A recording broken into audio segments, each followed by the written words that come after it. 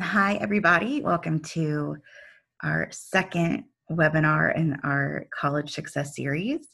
This one is Money Matters and really just the ins and outs about college costs and how to cover those costs.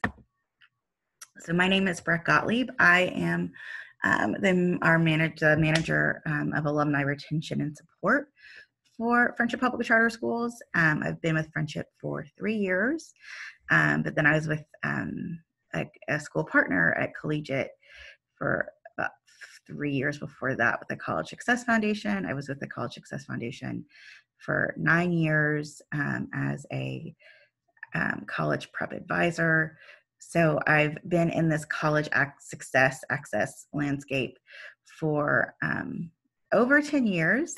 So um, I just think it's really important for families to have as much information as possible um, and as, for everything, but especially around the, the financials of college, because that can be very overwhelming. Um, I mean, it is very overwhelming. So um, this is just really a general overview of college financials. So we're not getting really deep into how to apply for the FAFSA and filling out financial aid applications and that sort of thing that would really happen in um, your student's senior year. Um, this webinar and this whole series is geared towards families with um, any grade, um, any part of the friendship family from pre K to alumni, uh, you know, so again, at the end of this, there'll be information um, on how to contact me and also our college and career counselors in both high schools. So um, today we're going to talk about really what does college really cost?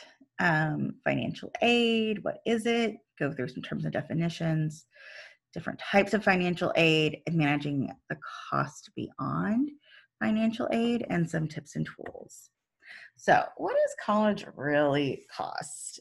Um, I always talk about this kind of like buying a car. When you go to the dealership and there's that big sticker price on the car, rarely do you ever pay that. Does one ever pay that? Um, you know, it's whatever, it's the deal of the month, or there's ways to finance it, right? You have um, take out a car note, you um, have a military discount or um, a friends and family discount or it's tuesday i don't know. Anyway the point is is that there's lots of different things that take that sticker price and bring it significantly down. So the same thing is with college. The sticker price is the published cost of attendance. What a college is listed as their full cost um, of attendance but then you take those different um, scholarships, grants. Um, this is any that called gift aid. This is free money that you don't pay back, right? This isn't loans. This is the free money that's awarded by the college, and that gives you your net price. So the difference between the two um, is the real amount that your family pays. So that sticker price, that published price minus grants and scholarships equals the net price. Um, this also will include most often um, with lo- some loans and income, but really just looking at just that idea that don't ever, ever be, don't ever cancel out of college or just miss this college because the sticker price is too high. Um, and I'm going to show you just real quickly um, what I'm talking about. So I just, this is my favorite website. It's very data heavy, um, but it gives really good information. It's collegeresults.org. I put the website on the bottom. Um, uh, they have this really cool tool where you can just put in as many colleges as you want and compare them. Um, and so I just picked 10 kind of random schools, like everywhere from like an Ivy League um, to a lot of local area schools um, and some just more popular um, colleges for it with our students. So um, as you see, so this is showing us, this is in this you see these tabs, these yellow tabs at the top. Um, these are the different data points that they compare, but this is price and financial aid. If you look over in the um, third column, so between the red and the orange, this is total price for in-state on-campus students. Um, private colleges, you see there's no difference between um, there's no difference between in-state and out-of-state because it's private. The um, where you'll see a difference and where it's going to be a bit more expensive because we're out of state. DC is considered out of state for everything except UDC. Um, it's going to be a bit uh, higher, but we have DC tag, which will bring it back lower. So anyway, not going to get too deep into that, but just looking at this, this between the red and the orange, this is the sticker price. Okay, this is the total price on campus, living on campus, um, and you see that like Princeton is sixty-three thousand, Georgetown is almost seventy thousand, right? GW almost seventy thousand. You go down um, A&T nineteen thousand. It's an it is um, a state school, so that's why it's a bit. It's a. I mean, it's still on the um, less expensive side of things. Um, okay, so then we go over to the next column between this orange and yellow. This is average net price after grants. So you can see significant drops um, in this net this net cost, right? But you go one over more that between that yellow and green, and this is the average net price for low income students. So this is really um, about Pell eligibility, Pell Grant, which is we'll talk about in a minute, the federal um, grant based on financial um, need, a family's financial need. Um, I'm not. I will say that most families that I work with, that most friendship families, um, will be Pell eligible, so will be in this range somewhere. Um, not every, right, obviously, but I will say the majority of students I work with tend to have, um, which we'll talk about in a minute, uh, um, more about the expected family contribution that would fall within this range. So you can see how just the huge drop, right? Like let's just look, take Princeton, went from 60, almost, you know, 63,000 to $2,000. I mean, Georgetown as well dropped super low. Um, College Park down to 9,000. GW, it's went from 67 to 14. Um, Spelman um, went to 35. So you can just kind of see how they all dropped um, a bit. Um, so this is just a just a good. I will come back to this, but um, it's just really interesting. I just so you see that like that sticker price. No, that no one is paying the sticker price. Grants. Let me just say this one more time. Grant. Not one more time. Let me just say this. Grants are not merit based. They're need based. So this isn't scholarships based on, um, you know, a student's GPA or their leadership or things like that. This is just looking at a student's FAFSA, their financial aid, right? Like what they're eligible for. And no one is paying, very, not saying no one, but very few people pay that sticker price. So um, when we talk about cost of attendance, what we're not so the things that go into um, I call it the, this bucket, right? Your bucket is the estimated total cost to attend a college, which includes your tuition, your fees, your housing, and your meals. We call it room and board. You'll see that listed as room and board.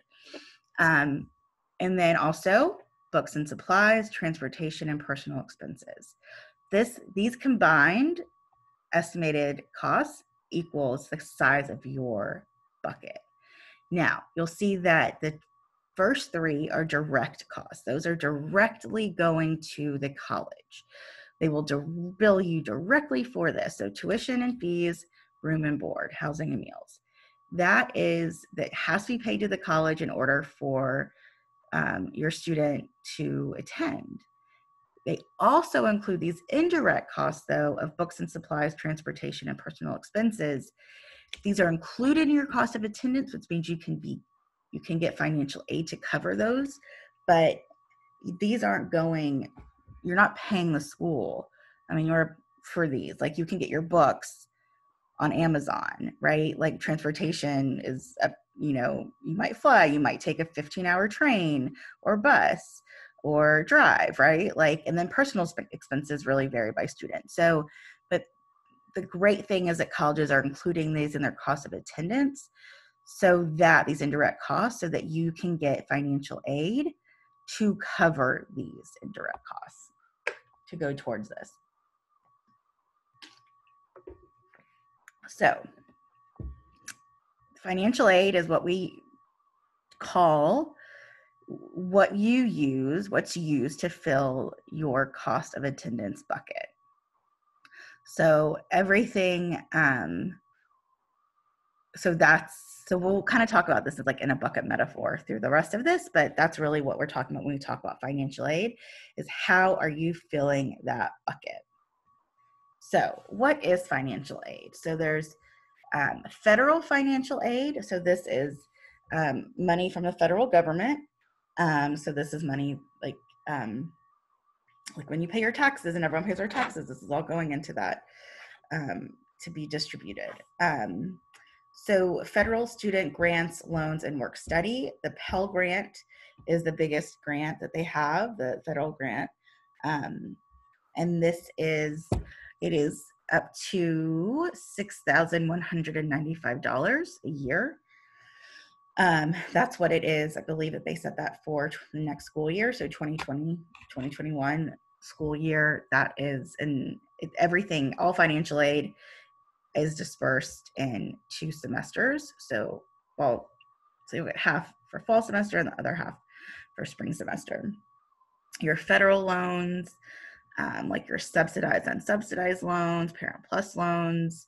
Um, those are federal loans, and then Work Study is a federal program, um, which we'll talk about more in a little bit. But um, this is all federal financial aid. It requires the annual filing of the FAFSA, the free application for federal student aid, to be considered for eligibility um, really all financial aid, you have to do your FAFSA, but it is absolutely required to get any of these grants, loans, or member study. Um, you have to, the student has to file the FAFSA every single year they're in college. There is free money. So this is the not federal um, financial aid, but other financial aid, which includes institutional grants and scholarships. So this is money from the college. Um, and this is really where you get your biggest bang for your buck, I'd say. Um, you can get lots and lots and lots and lots of money, as you can see, like a lot of that, if only the federal grant, right, that is really guaranteed for um, families with below, um, we'll talk, but, but whose EFC is zero, expected family contribution is zero. Um, is only $6,195, right? There's a, so that net price, which is really so much lower than, than those sticker prices, is that that money is being filled in, those grants from the school itself. Um, those are often automatic. You, once you're accepted to the school, you're automatically getting that money. Um, like you're automatically being considered for all of that in those grants and scholarships. There are some scholarships though that you have to do additional applications. All of that though is on the college's website. So um, private scholarships, and then um, DC residents have a couple of other pieces of financial aid. The DC TAG, DC Tuition Assistance Grant, um, which is up to 10,000 dollars to cover the difference between in-state and out-of-state tuition. So we talk about cost of attendance, tuition is one part of that. So it's not going towards the whole cost of attendance, it's just tuition. So the difference between in-state and out-of-state tuition up to $10,000. There's also the mayor scholarship, um, which, so DC TAG as for any public school in the country and that's up to 10,000. Any private HBCU and any DC area private school, so Trinity, GW, American, Howard, all of those, um, you get up to you can get 2,500 a year. So it's up to 10,000 a year for public schools, up to 2,500 a year for private HBCUs and local private schools. So UDC is not DC Tag eligible. That is our state. That's our state college, our state university. Um, but mayor Scholarship is, I think it's 4,000 a year. Um, and you can use that towards UDC as well. And those, um, the applic- uh, you, they're all online um, through the OSSE website um, the office state of the super state superintendent. Okay, so then the private DC money, DC CAP, um, they have the last dollar award, which is 4000 a year. If you have a 2.5 and above, you're eligible for it. The CSF scholars, they have their leadership 1000, um, but you need to be part of their program, um, either upward bound, which is at tech prep, or just CSF Scholars, which is at Collegiate. Um, and then Posse, we are a Posse city, which means we have the Posse Scholarship. Um, and there are six colleges, really great colleges, um, that students get can get full tuition to. And that all of these are applications um, that you have to do. So that was all free money. then there's this other part of financial aid, which is the investment money, right? So private loans, again, this is the not federal loans, this is private loans, um, things that you get out through banks, credit unions, family support, and student employment outside of work study, federal work study. This is all investment money. Again, you're putting in this money, your students putting in this money, your family's putting in this money, and the idea is that you're really getting it grows because you're getting this amazing return on your investment, which is a college education and all the things that come from that. So, go over some terms and definitions. Grant is free money. Scholarship is free money with strings attached because scholarship so is really around um, we'll talk about that in a little bit more, but scholarships have strings attached, right? You have to um, usually do applications, you have to, um, you know, keep a certain, either stay in a certain activity or keep a certain GPA, that sort of thing. Um, but both are free money and both are great. Work study is on campus job funded using federal or state money. And a student loan is aid that must be repaid when you leave college, even if you don't graduate. So once a loan is taken out, it has to be repaid, whether or not, you know, any the, degree is um, finished. Um, so it's just really important to remember that debt and no degree is something that I'm sure you know people that have gone to college, taken out loans, and have had to come home for various reasons. So that is something that we really, really, really try hard, and we really want all of our friendship students to not um, have debt and no, with no degree. Debt is an investment, and we want to make sure that there's a good return on that investment. So the types of financial aid is we have gift aid and we have self-help aid.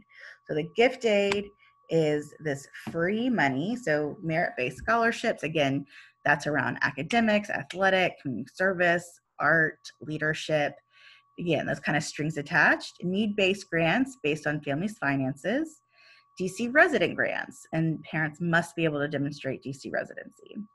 Then you have your self-help aid, which are those federal loans um, and private loans, work study. The thing with work study, and you'll see when we go through a financial aid award letter in a little bit, is that it's not always offered and it's not guaranteed.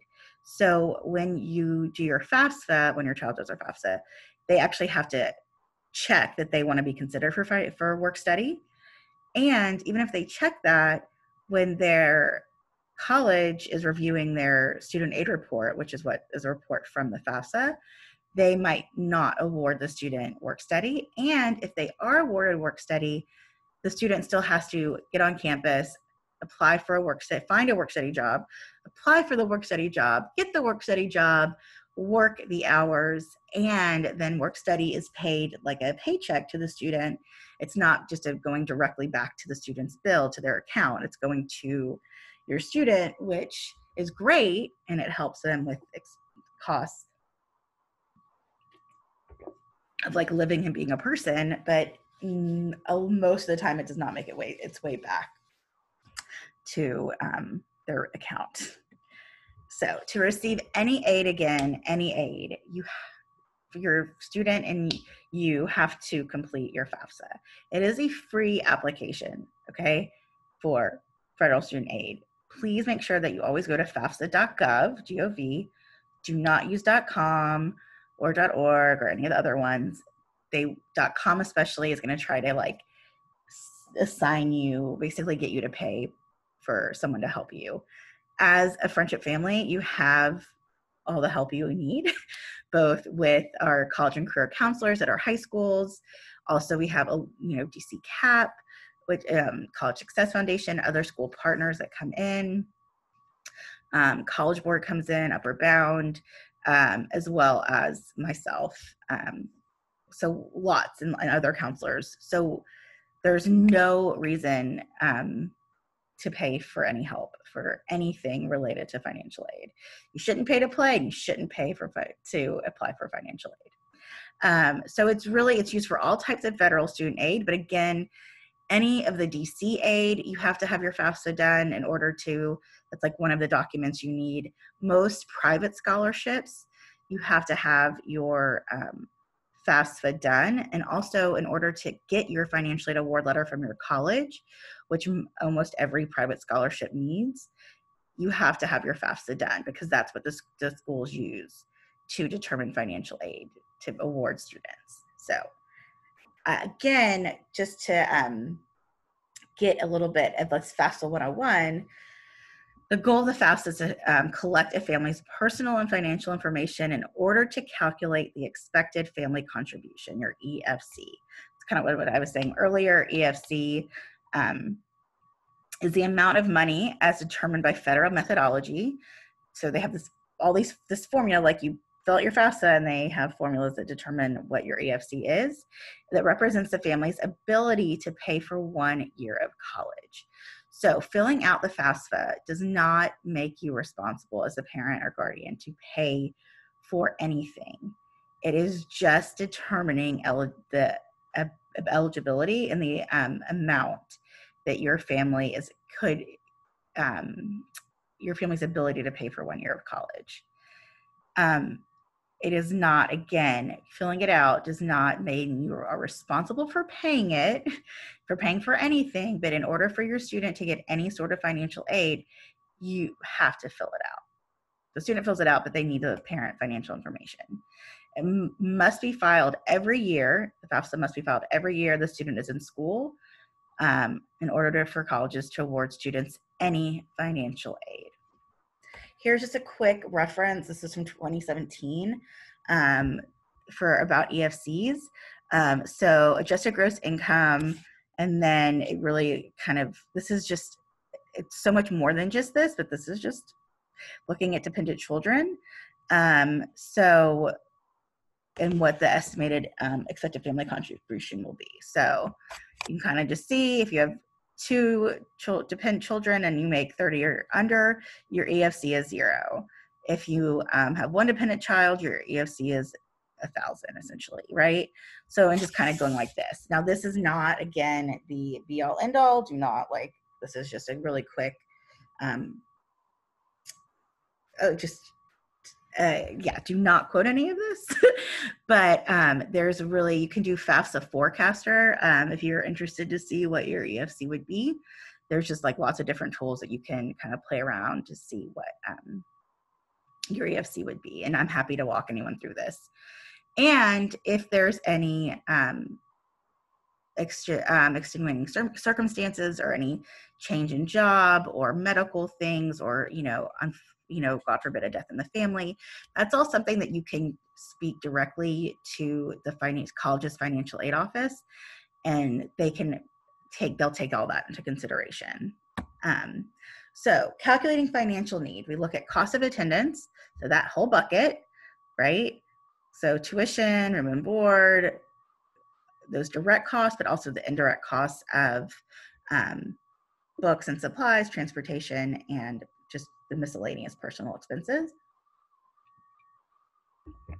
So minus the EFC, the expected family contribution, and that gives you your demonstrated, your student's demonstrated financial need. This is the student's maximum eligibility for financial aid from a school. Um, so go back to our bucket, right? So you have your EFC, right? This bottom, the expected family contribution, what your family, what the government has determined based on your FAFSA, um, what your family can be expected to pay, plus any gift aid, so grants and scholarships, um, plus any self help aid, so your loans, work study, that goes into your bucket. Anything that's still left over is called is unmet need, right? That's unmet. So you might still have some need, right? Your bucket still might have some things in it, but there's no more financial aid, and that's called the gap. That's the unmet need. So this bucket price, so we talk about sticker price versus net price. Well, really the sticker price versus the bucket price, right? So your gap um, of unmet need is which includes this plus your um, expect your EFC, your expected family contribution. That is your family share and the family responsibility, really. So again, just coming back to this kind of bucket price, which is your actual cost, you can see um, how the different financial aid. I mean, I, this you don't really see the specifics, but understanding why a school like Princeton is giving a lot of financial aid in terms of grant money. Again, this um, is before, this is after, this is grant. So this isn't after loans, these net the, between the orange and the green, this is after grants. So um, you can see that some schools are really good about giving lots and lots and lots and lots of money in terms of grants. Um, and some schools are like not as great. Um, and that's really dependent on um, your school. So um, to break this down to actual numbers, I am looking at um, cost of attendance. It's I just 40 of the schools, $40,000 cost of attendance. Okay. So again, majority of EFCs that I see are zero. Some are much higher. Um, oftentimes there's an EFC of like 500 or 1500, but the majority of EFCs that I see um, is zero. So that's what I'm going with, just so you kind of see what um, that even having EFC of zero doesn't mean that you get free college. Okay, so that eligibility for financial aid, right? So that cost of attendance minus EFC is your maximum eligible, like the maximum eligibility, the maximum amount that you are eligible for, your student is eligible for for financial aid. So this EFC zero, so full cost of attendance, student is eligible to receive in financial aid. So that is $40,000. So then once you, in your senior year, your student fills out their FAFSA, they will receive a financial aid award letter from every college they're admitted to, which basically tells them all the grants, scholarships, and loans. Um, this includes all the, the federal financial aid plus institutional money. Um, so they got a $2,500 scholarship from the college. Great. They are fully Pell eligible, right? So they get that full 6,195. They get their federal loan, so the subsidized loan and unsubsidized loan. Subsidized loan interest doesn't accrue while the student's in school. Unsubsidized loan it does. Um, so that total financial aid from the school that they're getting is so, and that includes federal money because the schools are getting the money from the federal government to then award to students. Um, so it's $14,195. They were also awarded work study. You'll see how that's in the dashed because I don't always I don't like to include it because it's not guaranteed and students have to get that job and work those hours and then somehow be responsible to put it back towards their bill. Um, this is DC money, so it won't be on their award letter that they get from their school, but it will be on there once they send their information and their these award letters, their DC tag award letter and their last dollar award letter to their school, it will go on their bill. But um, DC tag, um, the difference between in-state and out-of-state tuition for the school was 9,500. So they got that. And then the last dollar award, again, if you have a 2.5 GPA and above, you're eligible.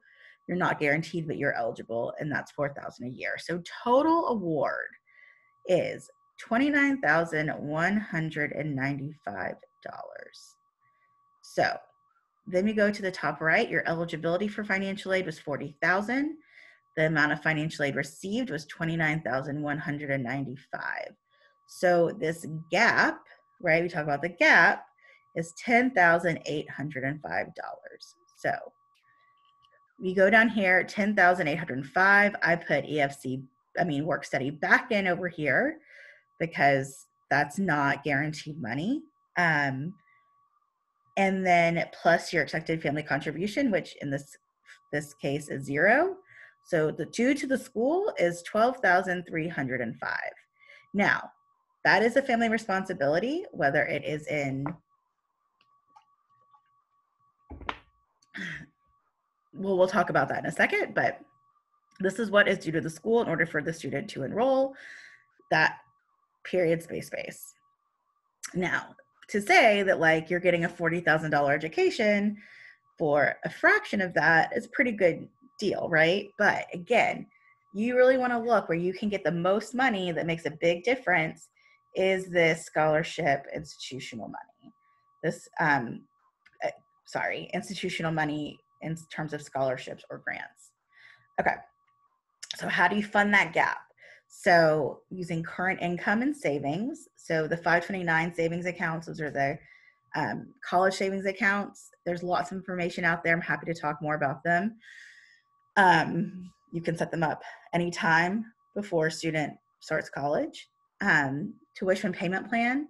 So taking that, you know, $10,000, $12,000, dividing it over 10 months. Um, college will let you do that. Usually there's like no interest on that. It's just dividing, doing the payment plan, um, which can break your payments down into much more manageable chunks. The federal direct, the Parent Plus loan, parent loan for undergraduate students. Um, the great thing about a Parent Plus loan is that it's a fixed interest rate. It's a lower interest rate than private loans. Um, it is credit based. So if you have great credit, you'll likely get it. If you don't have great credit, still apply because if you are denied based on credit, your student can get an additional $4,000 in unsubsidized loan. Um, and then there's also private student loans, you know, some state sponsored loans, banks and credit unions. Um, yeah, but these go into um, students often can't get them because they need um, or they have trouble getting them because they need cosigners and all that. So, okay, so other things to do scholarships. So, there are lots of different resources to find scholarships. Um, that are not based, um, that are not institutional or college scholar, like from the school. So there are all the national search searches that I've listed here. Um, Google's also a great thing because you can just kind of put in just different characteristics of your student, what they're interested in studying, maybe like big like instrument they play or whatever, and like get kind of tailored scholarships. And then local resources. Um, underlined and green, the college and career advisor. If your student is in high school, um, both tech prep and collegiate have a college and career counselor um, who is will like is the go-to resource for everything. Their office has all the scholarships. Make sure you're on any of their email lists, text blasts. Um, like this is your best friend, um, especially senior year, junior year too. DCPS has a great, if you Google dollars for scholars or dollars for college, it's one of the two. Um, they have it's a great newsletter that, that's sent out monthly uh, about different scholarships and a lot of them are geared towards dc students friendship has our own scholarship our friendship scholars which they um, students apply in their spring of their senior year dc cap um, there's always a dc cap advisor every school has one as well as the college success foundation is another organization that has um, that there's um, an advisor at both collegiate and tech prep so, any questions? Again, this was a very quick, general overview of college money and all that goes into it. I have my information here. Again, I'm the manager for alumni retention and support, but also do a lot with in the high schools with college access and success. Um, Miss Jackson is Tech Prep's college and career counselor and uh, Miss Washington, Miss A. Washington, is Collegiate's College and Career Counselor. So please feel free to reach out to any of us. Um, if you are in, um, if your student is in elementary or middle, um, feel free to reach out to me. If they're in high school, really go to your college and career counselor for more information. But I'm also happy to chat um, as well. So anyway, it was um, a pleasure talking to you guys. And again, any questions, please reach out. College is expensive and overwhelming and all of those things, but it is very manageable when you break it down into um, just smaller bites, right? Um, and this is so this is really what i'm here to help you with is kind of helping manage that and helping navigate that. So anyway i look forward to talking to you for the next webinar. Take care